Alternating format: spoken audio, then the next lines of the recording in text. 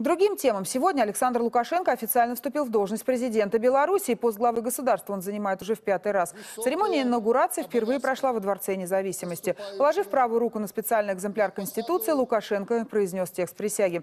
Председатель ЦИКа вручила ему президентское удостоверение. Затем торжества продолжились на площади государственного флага. Прозвучали залпы артиллерийского салюта. Напомню, выборы в Беларуси прошли 11 октября.